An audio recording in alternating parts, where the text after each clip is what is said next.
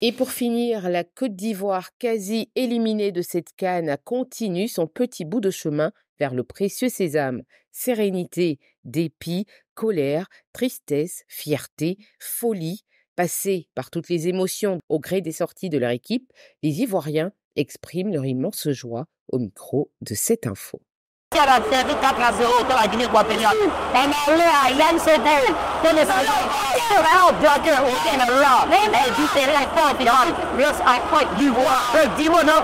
J'étais excellent, c'était planning. Depuis la reprise, la remise de leur confiance, je pense qu'il y a c'était un problème mental.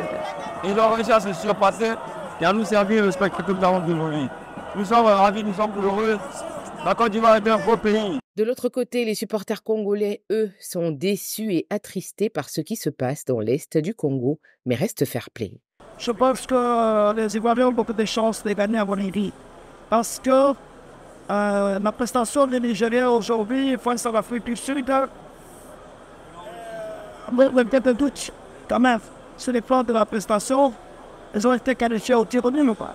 Mais si euh, Obi-Wan Kenobi fait le Serge Gabriel des autres, reste concentré, fait son football normal, il va après de je pense que bah, il faudrait voir gagner la phase victoire et ça sera bien. C'est parce que j'aurais voulu qu'on qu'on gagne, qu'on ramène cette coupe. Ça fait 50 ans qu'on n'a pas participé.